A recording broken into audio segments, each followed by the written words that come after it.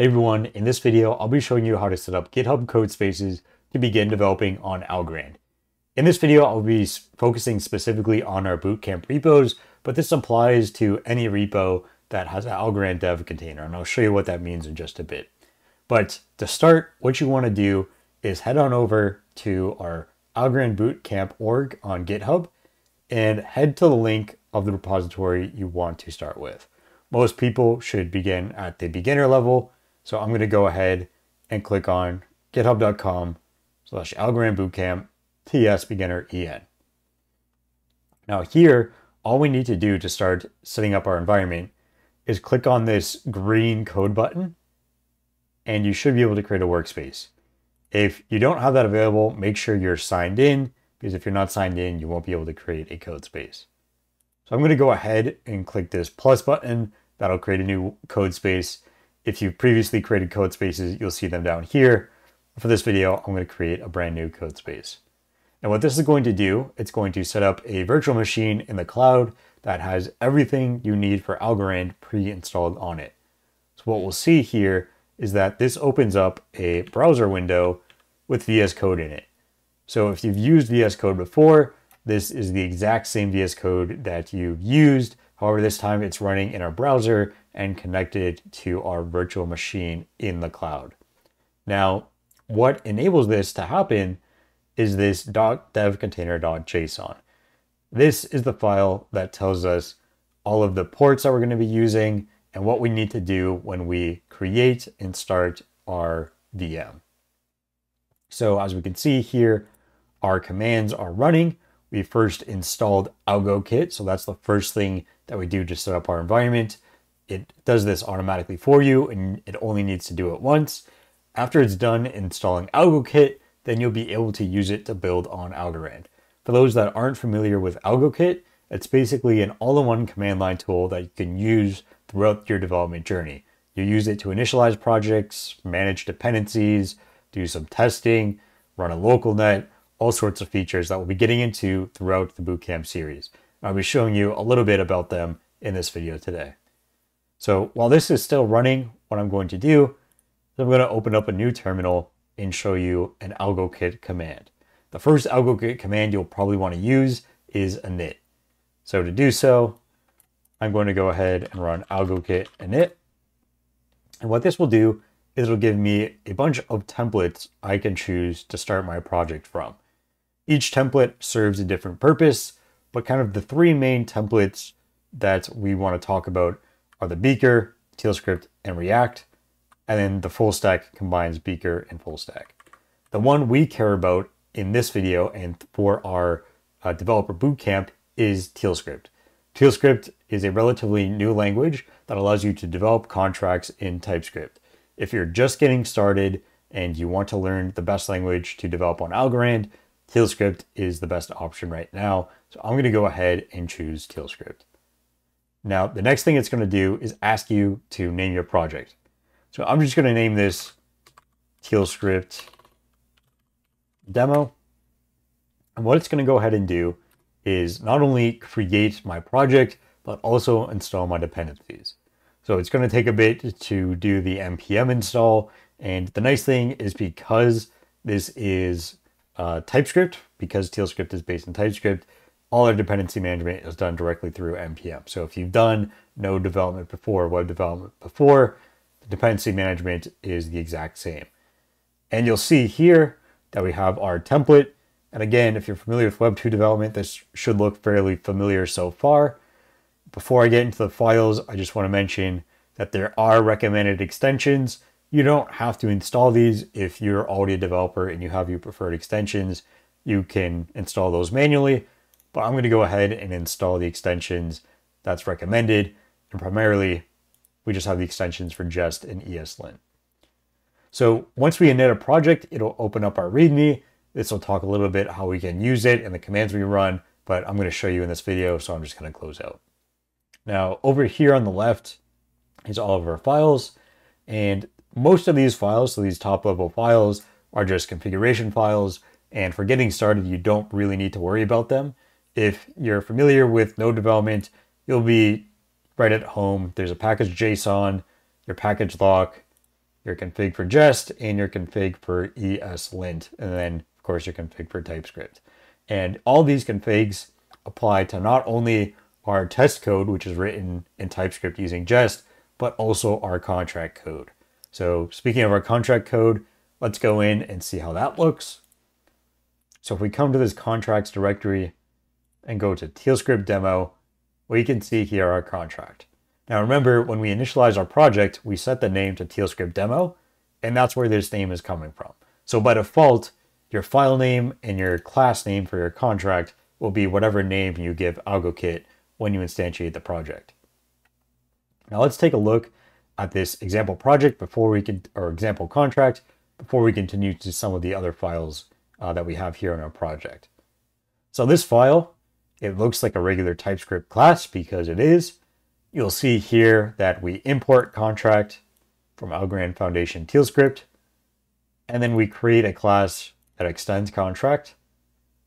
And then we define two private methods. So we have one method called getSum that just sums two numbers, and then a method called getDifference that will get the difference between two numbers, and it will always subtract the biggest number from the smallest uh, using this ternary expression. So these are two private methods. They are only callable internally within our contract. And then we have our public method. And our public method here is called do math. And you can see here it takes two numbers and a string operation, or and a string that specifies an operation. So logic here is pretty simple. We simply say if the operation is sum, then we're going to call get sum. If it's difference, call this get difference. And if it's not or difference, we're going to throw an error. And then finally return our result. So here we can see that we define our methods, we set them to private, we can instantiate variables just like you can in a regular TypeScript function. In fact, all of these, uh, all these lines of code are valid TypeScript. If I were to copy and paste this into JS Fiddle, this code would run just fine. So even though this is a contract, we're still running a native TypeScript. And you'll also notice, in addition to the native syntax, we also are leveraging native tooling like tsdoc to document our functions. This will provide useful IntelliSense, but also give us some other features that we'll take a look at in one second. So again, contracts TealScriptDemo.algo.ts is our contract file. But we also have these two other directories artifacts, and clients. So to actually generate our artifacts and compile our TypeScript contract, what we're going to do is we're going to run the npm run build script. And what this is going to do, if we scroll back up, we can see we run npm run compile contract, which calls TealScript, passes in our contract, and the directory we want to output artifacts to. And then we also call this generate client function, which takes in one of our artifacts and outputs a client. So let's first focus on these artifacts here in contracts artifacts uh, directory. We can ignore components for now. We'll get to that once we get to our front end uh, section in the bootcamp. But for now, let's focus on these top level uh, artifacts. So the first is an ABI file. This is a JSON description of all the methods in our contract and uh, what the arguments are. And you'll notice that we have our types and descriptions here that was auto-generated from our types and our method signature and the description that we provided to tsdoc. So we're leveraging tsdoc syntax to generate this ABI file along with our method signatures we defined. So we can see here we have our one public do math method. And then we also have a public create application method. Now, just generating this alone isn't super useful, so let's talk about our other files. Arguably, the two most important files here are our uh, approval and clear teal files. For those that aren't familiar, teal is the machine language that the Algorand node executes when executing a smart contract. So when we called our build script, we ran our TypeScript file through TealScript. So instead of running a TypeScript file, through the TypeScript compiler to generate JavaScript, we ran it through the TealScript compiler to generate Teal. You don't need to go into the exact details of how this Teal is generated. The important part here is that our high-level language code and TypeScript resulted in this low-level language code in Teal. And now we also one last, or we have two more files to go, but this is also a very important file. This is a JSON file that includes the ABI, but also some additional information like our state schema and our source code. We won't need to worry too much about this file, but what it's useful for is generating our client, which I'll talk about in just a second.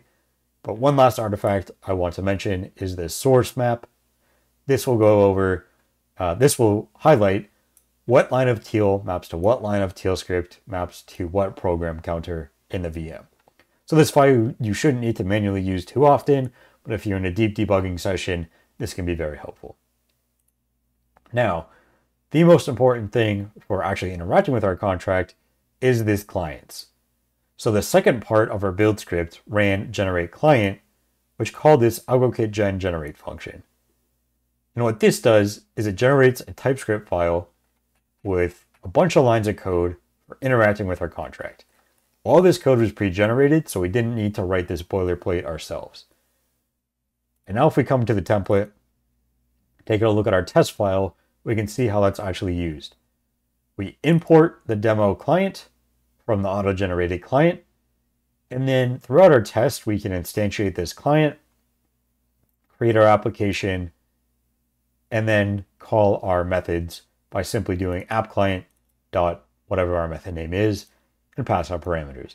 We'll be going more in depth in how this actually works throughout the bootcamp series, but this goes to show how easy it is to take our contract, auto-generate this client, and import it and begin using it. It's just a couple of lines of code, which makes it really nice. Now to run these tests, I can go ahead and do an npm run test and that's going to compile and generate the contract or generate the client for me again. And then it's going to run the test, which I've written here in Jest.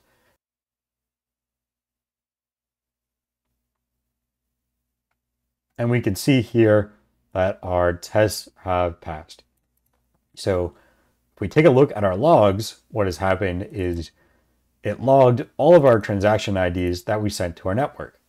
Now you might be asking, what network are we sending them to? These transactions happen really fast, and we know block times are Algorand are roughly 3.3 seconds. So all of our testing was actually done on a local network that was instantiated by AlgoKit. So in the code space, every time you create a code space, it'll start your local network.